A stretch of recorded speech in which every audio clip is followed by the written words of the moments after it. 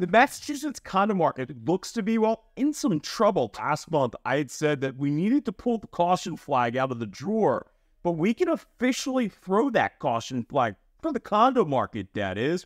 A couple questions. Do we go into condo depreciation or we actually see housing prices in the condo market year over year decrease? And if this happens, will the condo sickness spread to the single family market? Is this a short term drop with a surge coming soon? This month's stats are a great look into what may be to come. If you're looking to hear about the Massachusetts real estate market data for single family homes, condos, as well as multifamilies, then you're in the right place. Real quick, my name is Jeff Chubb. I'm a recovering investment banker turned real estate agent. I've sold more than a thousand houses. If you have any questions in regards to real estate, then no, I'm here to help. Now, we've changed how the real estate industry operates. We now offer our services as a pay as you go instead of the traditional pay 2.5% when you buy the house or sell it. It is modeled identically off the law industry. Home buyers can save thousands, possibly tens of thousands of dollars. Reach out if you're interested in hearing more. Let's start with the single family market. In May of 2024, we saw 3,293 single family homes sell for an average sales price of $841,000. Another month where we actually saw year over year sales up.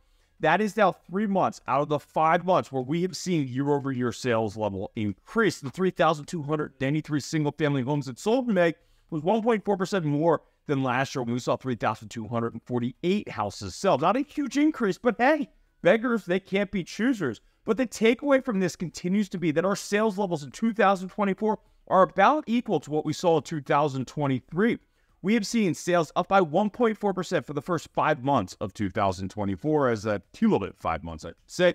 But as we've said a million times before, the depressed sales really don't matter because, as we know, home values are tied to the inventory levels, not sales levels.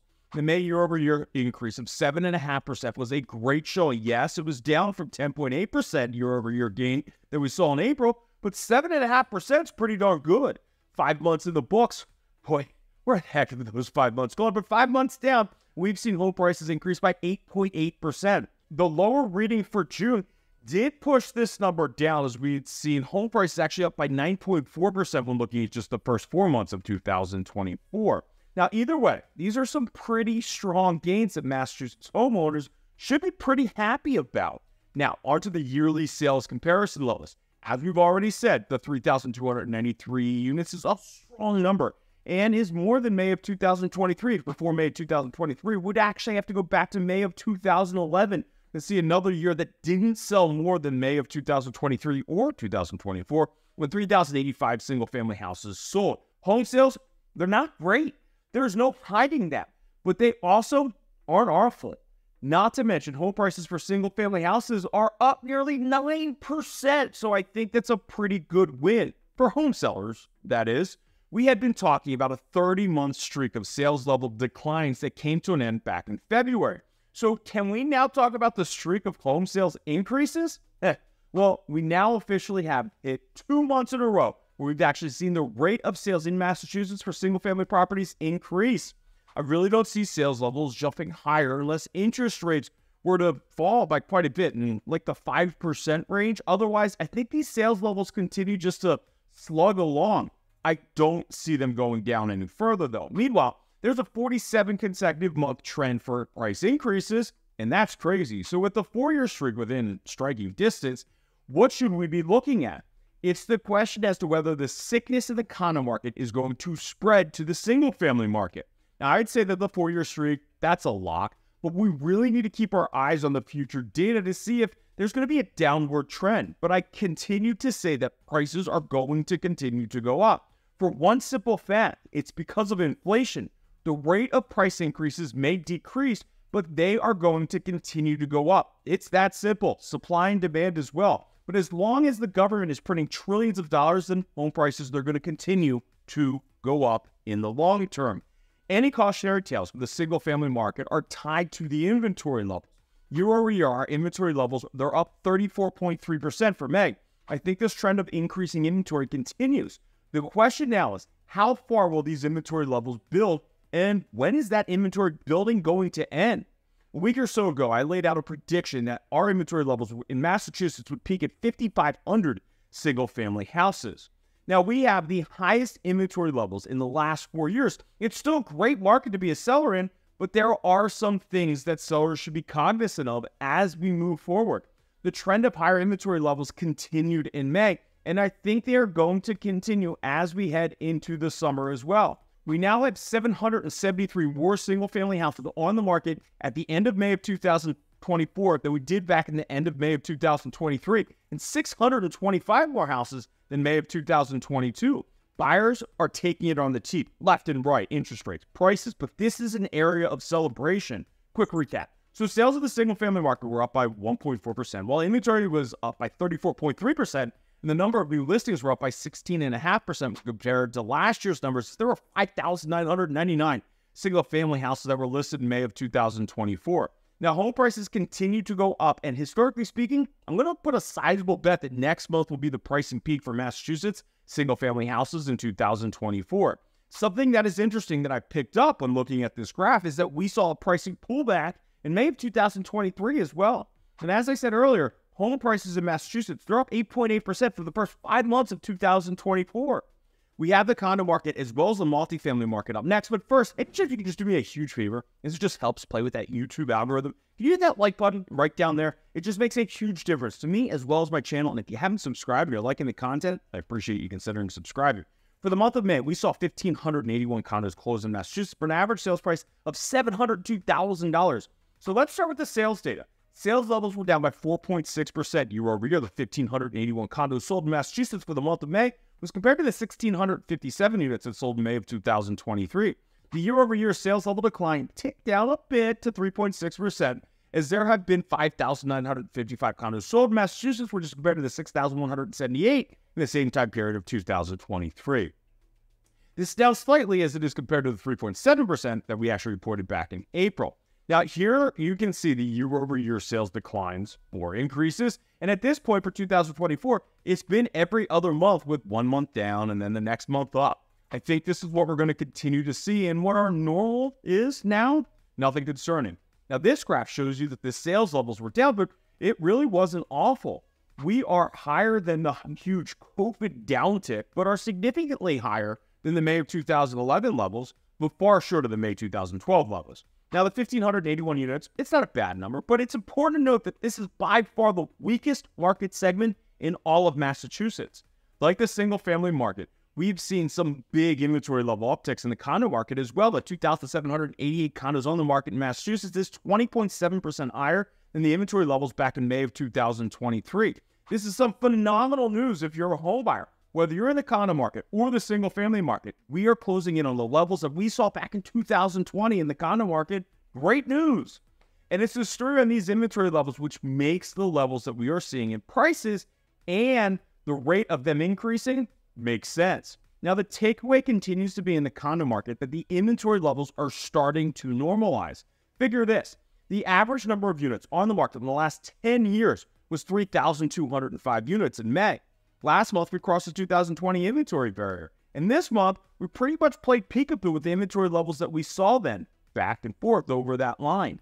As May closed out, we had 398 more condos on the market compared to this time in 2023, 403 more than compared to 2022, and 79 more than in 2021. As a year over year comparison, sales were down 4.6%, but the amount of new listings were up. In May, we had 2,553 new listings that hit the market. This is compared to the 2,428 that hit the market in May of 2023. This means that the amount of new listings were up by 5.1% year over year. Yes, home prices were up in May, but the trend line is what is a little concerning. The average sales price of $702,000 was 0.28% higher than the average sales price in May of 2023 when it was $700,000.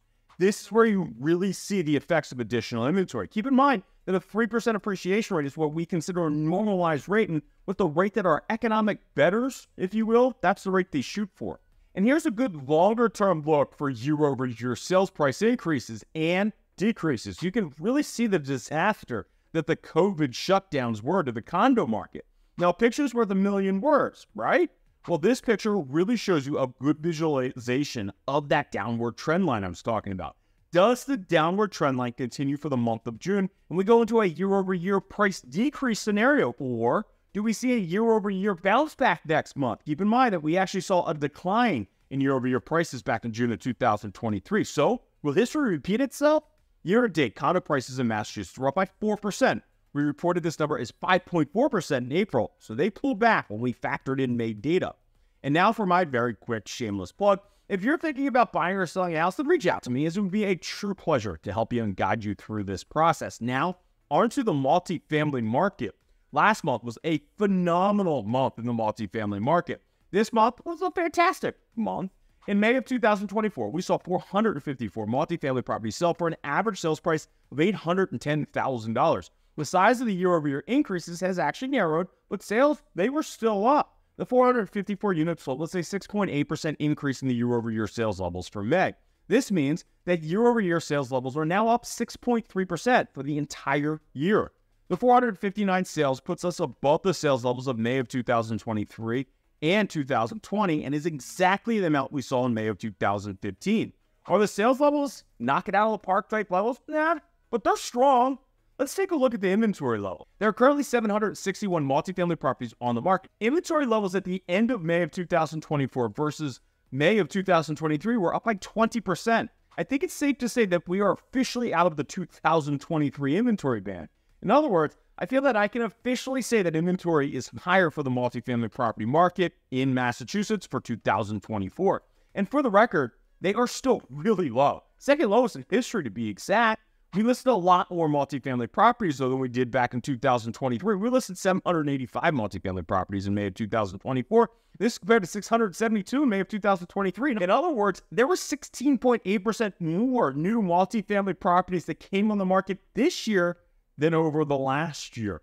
When you compare our inventory levels today to those of May of 2015, then today there are 2.7 times fewer multifamily properties on the market. Make no bones about it. It was a great month. It just doesn't look as good due to the crazy month that we saw in April.